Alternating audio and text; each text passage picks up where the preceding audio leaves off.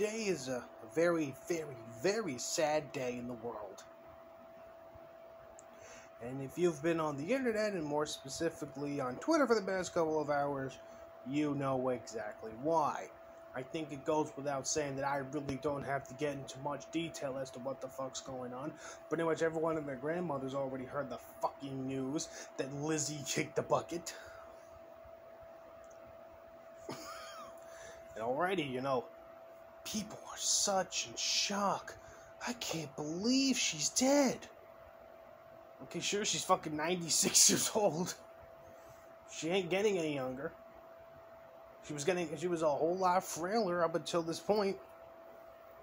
But no, we all gotta be really, really sad that she died, even though she was 96. But I'm not just here to talk about the, uh, the death of the original girl boss, Lizzie. No, no, no, no, no. I want to talk about the shit that's gonna come, the shit that's already happening, because boy oh boy, am I fucking enjoying it.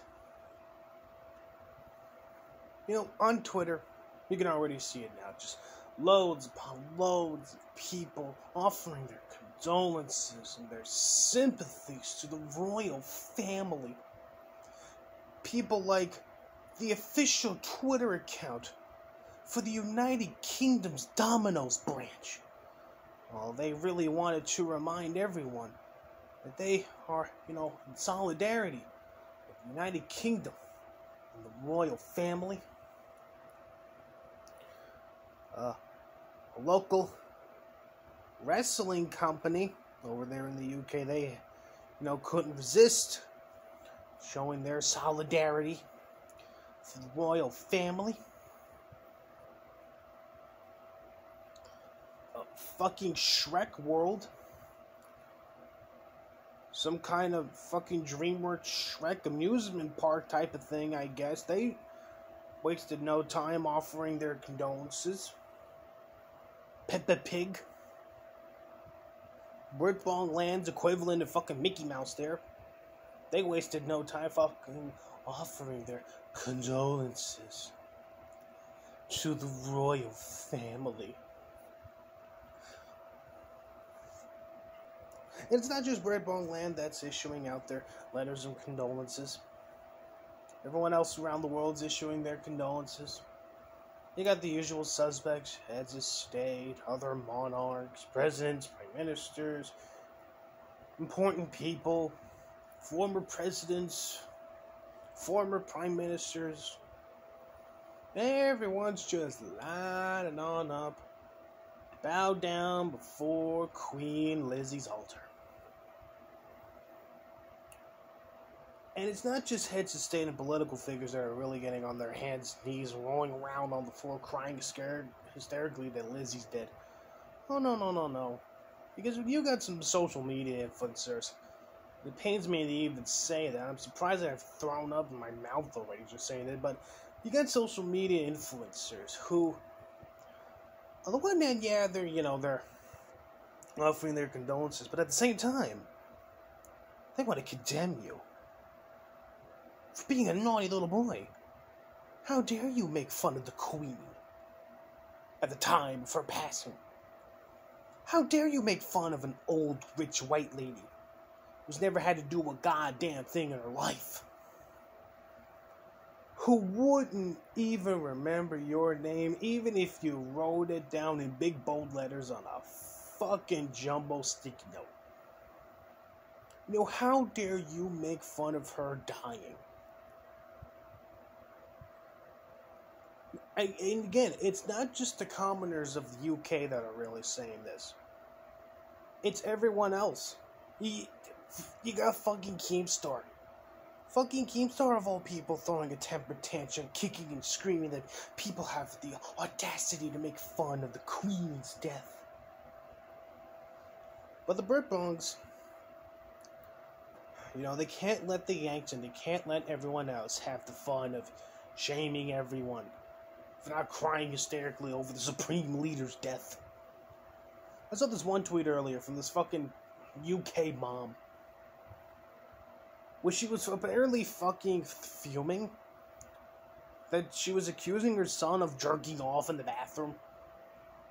Rather than being in front of the telly and crying hysterically that her majesty's dead. Yeah. But,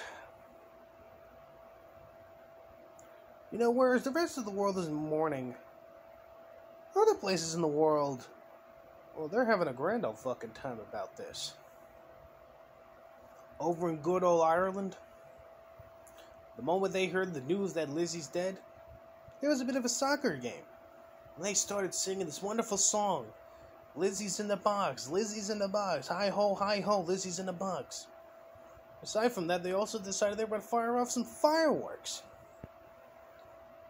It's not just Britain's next door neighbor that was getting in on all the festivities. Argentina decided they were going to have a little crack too. A uh, little news site in Argentina, you know, they decided they were going to pop out the champagne. Have ourselves a little toast. Ding dong, ding dong, the stupid bitch is dead. a little payback for what happened in the fucking Falklands back in the fucking 80s.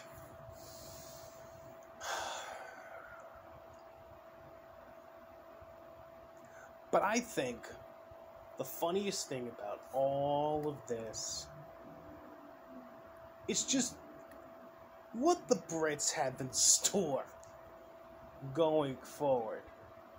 Because for the next 10 days, the nation is going to be in fucking mourning over the Queen dropping dead.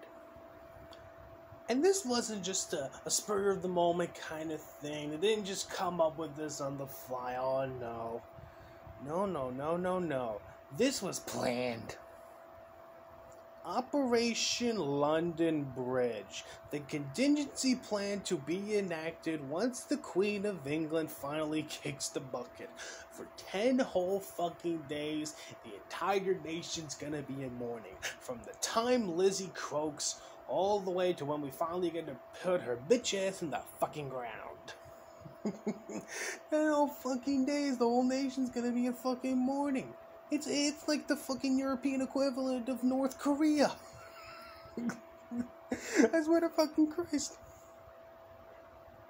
And if you're over in the UK and you wanna, you know, take a break from mourning, you wanna have yourself a good giggle, you wanna enjoy yourself, well guess what, sonny boy? You're shit out of luck.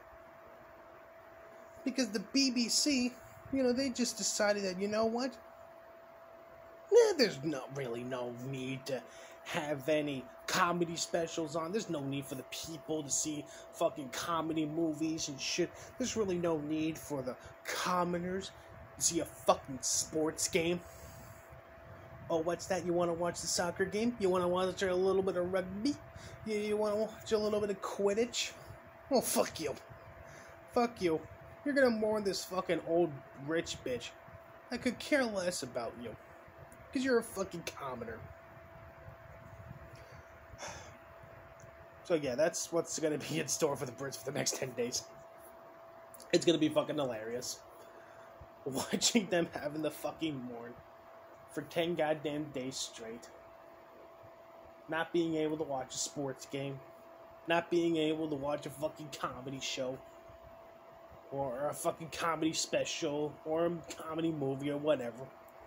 You're not allowed to have any fun. You're not allowed to do anything that brings a smile to your face. You're just gonna spend the next 10 goddamn days of your fucking life mourning an old rich bitch who died. oh, I fucking love it. But now with Queen Lizzie's death, what's in store next for the monarchy? Well, King Charles is apparently King Charles, even though he hasn't gone through the whole correlation shindig, but for all intents and purposes, he's the fucking king now. Whoop the yippee kind fucking A. And uh, I really don't care about that. The only thing I care about now is what's going to be happening with uh, Northern Ireland and Scotland there. I mean, you've heard it for years. Northern Ireland really want to be a part of regular old Ireland once again. Scotland wants to finally break free of the crown and go their own way. I mean, you even got regular people who are just fed up with the monarchy. This thousand year old Asian system, they want to become a republic like the US. And now that we got King Charles and, on the throne now, I'm inclined to believe that Northern Ireland is no longer going to be Northern Ireland and Scotland's going to be its own independent nation. And I'm excited for that. I'm excited. And you want to know the best part is? It's all going to be a reality before you know it. This isn't a hypothetical. This isn't wishful thinking.